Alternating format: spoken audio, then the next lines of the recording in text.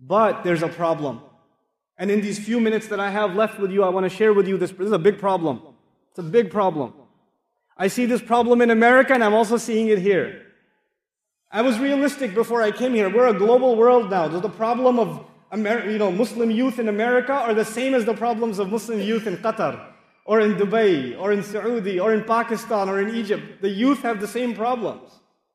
You have the problem of some kids saying, some young people saying, and even older people saying, I know it's haram, but Allah is so merciful, man. He's like Ar-Rahman Ar-Rahim. I know it's haram, but it, come on, Allah is not gonna, He's not gonna punish me for that. He's to take it easy on me. I want to help you understand this problem. Because Allah described His love and His mercy with such extreme, in a, such an extreme way, some people might try to take advantage of it. Some people might say, it's just a little bit of drugs. It's not that much. I just do it like twice a week. And I don't do it on Friday. And I, I stop all of Ramadan, I stop. I don't drink a single, you know, bottle of liquor in Ramadan. But other than that, sometimes, you know, it's okay. Ar-Rahman Ar-Rahim. I'll make Umrah this year, it'll be fine. You know? They figure out they can just do, eat haram things, look at haram things, do haram things, and it's okay, Allah will take care of it. Allah will forgive. I want to give you an example to help you understand this. One of my earliest jobs was I used to teach at a school. Young kids. These are seven year old kids, second, third grade kids.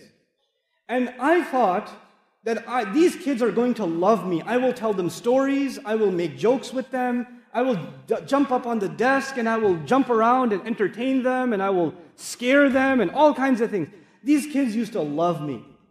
I used to go in there and tell jokes and tell stories and they used to be loud. The principal used to come in and say, What's going on here? And I used to say, Sorry, sorry, sorry, we'll calm down. I did this for a whole week with these kids. They absolutely, I used to walk into class and the kids used to clap. but then after a week, I go back into class and I say, okay, guys, open up chapter 5. Nobody opens up chapter 5. They're all looking at me. Tell us a story. Tell us another joke.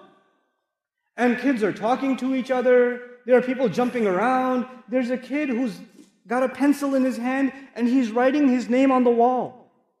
And he's looking at me and he's writing it. And he's looking at me again and he's writing it. You ever see that happen?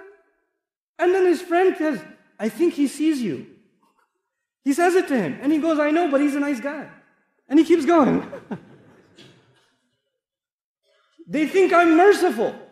They think I'm kind. So they figure, hey, I mean, this is a nice teacher. We should do whatever we want. When Allah describes His mercy and His love, some slaves of Allah, man, they try to take advantage. Like Allah is so merciful. No problem. I'll give you one more example before I conclude. This is I haven't introduced Allah to you yet. Alhamdulillahi Rabbil Alameen Ar-Rahman Ar-Rahim is two ayat. There are three ayat that introduce us to Allah. But before I get to the third ayat, I want to give you a simple lesson. Imagine there's a man and he has a slave. So this, this guy has a slave. And he tells the slave, You can do whatever you want. Here's the field. He, he owns a field. He said, You can do whatever you want in this field. You can eat whatever you want, go wherever you want. Just don't go on the other side. There's a line. He drew a line in the, with chalk, not even a fence. It's just chalk. Just don't go on the other side. So the slave is happy. He can do whatever he wants. And one day the slave is close to the border. And he falls. And he falls on the wrong side. And he immediately looks at the master staring at him. And he says, Sorry, sorry, sorry. I, it was a mistake. And the master doesn't say anything. No problem. He doesn't say anything. So he gets up, he dusts himself off, he's okay. Next day he pretends to fall. And then says, Sorry, sorry, sorry, sorry. The master doesn't even get up, doesn't even look angry. He says, This is pretty good. I mean, I mean, he told me not to go on the other side, but I've gone twice and I didn't get in trouble. This must mean it's okay. Some Muslim says, I, I, had, I had some haram substances and no lightning struck from the sky. Allah did not send like an axe wielding from the sky, chopping my tongue off when I lied. it should be okay. Allah is okay with it. You know, you try to earn some money the wrong way, you look up at the sky, oh, nothing happened, I'm okay. I could do some more. So this slave starts going on the other side over and over and over again. And a whole year goes by. Now he spends most of his time on the other side. So the, slave, the master calls him. After one year, he calls him. And he says, So, how's it going? Pretty good, pretty good. You're pretty kind. Love it. And he says, Listen, remember when I told you you shouldn't go on the other side? He goes, Yeah, I remember. Well, I've decided to punish you for that. But I will punish you for every, I've been counting. Every time you went, and I will punish you for every single time you went, but I will punish you all at the same time. I was holding off. I didn't want to punish you right away. I wanted to punish you eventually. I mean, it was your choice. I didn't stop you from going. I just said, don't go. And I told you there will be consequences. But I've decided to get you right now with all of it, all at the same time, one year's worth of transgressions. This is Judgment Day. The human being thinks you can get away with whatever you're doing. No problem. I did something bad yesterday, nothing bad happened today. I got I should do it again today. Then I could do it again tomorrow, nothing's gonna happen. It's all good. But Allah Azza wa says, He puts the picture, He balances the picture, He says, Maliki yawmiddin. He's the master of, He's the owner of the day on which perfect judgment will be executed. Everybody will get exactly what they deserve. He's the master of that day too. So as I leave you in this khutbah, I want to share with you that Allah balanced two things. On the one hand, He is extremely loving, extremely merciful. And on the other hand, if you don't, if you take advantage of His love and His mercy, then He will judge you too.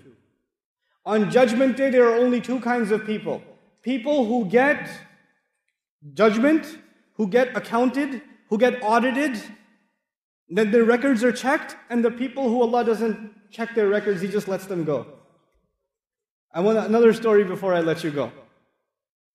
I, soon after 9 11 in America, there was a lot of security at the airports.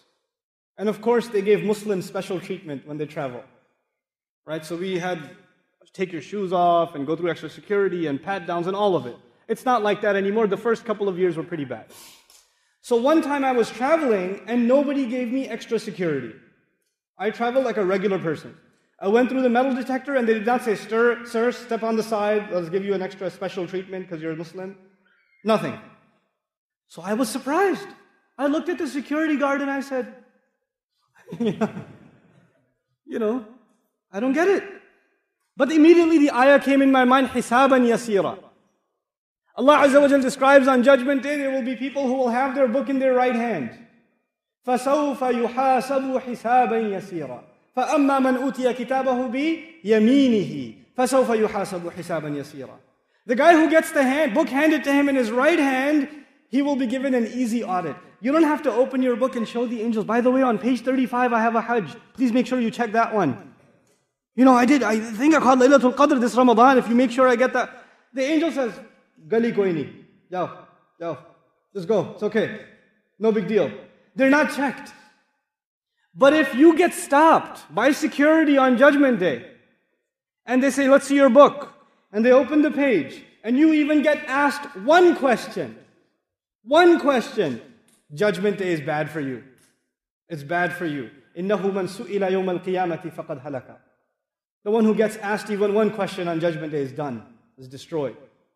On Judgment Day, either we will be people under the shade of Ar-Rahman Ar-Rahim, or we will be people under the, the justice of Maliki Yawmiddin. We want Allah Azza wa Jal not to judge us. He want, we want Him to show us His mercy, so we don't take advantage of it. We keep it balanced. This is the essence of who Allah Azza wa is to us. Don't think that you're forgiven just because you do some good deeds. Don't think like that. And don't think Allah will not forgive you. If you've made mistakes all of your life, and you've been, you made mistakes even before you came to Salat today, if you did that, don't think that you're going to hell. You're not. You're not. Who, who says you're going to hell? You're still alive. The opportunity for tawbah is still there. Allah is still letting air into your lungs. He's still letting you breathe, which means He still wants you to come to Him. If He wanted you to be done, you wouldn't be alive right now. Everybody who's alive is because Allah wants them to make tawbah. That's a mercy of Allah to them. So you don't ever think it's too late for me, or I've done too many bad things. I, Allah will not forgive me. You're not bigger than the, the mercy of Allah. You're not bigger than the forgiveness of Allah. And at the same time, don't you ever think, and I should never think, that I will only do a few bad things, it's no big deal though. I read a lot of Quran, I'm okay. I make salat in the masjid, I'm okay. I have some bad habits, they're hard to let go of, but it's okay, Allah will forgive those. Nuh There are some people who only have one sin, and they keep doing it over and over again. It's one problem they have, and they don't let it go. Allah Azza wa Jal describes this in the Quran. بَلَا مَنْ كَسَبَ سَيِّئَةً وَأَحَاطَتْ بِهِ خَطِيئَتُهُ فَأُولَٰئِكَ أَصْحَابُ النَّارِ The guy who earned one sin, he's obsessed with one problem. He's got one addiction. It could be alcohol, it could be drugs, it could be pornography. I don't know, it could be something for you. It could be your anger, it could be abusive language, it could be backbiting. I don't know what your problem is. We all have some problem. But you don't let go of it. You hold on to that sin and you say, it's just one problem. Everything else is good though. You accept it. Then Allah says you get, in, you get wrapped up into that sin. And those are people of fire. Those are people of fire. They don't let go of their sin.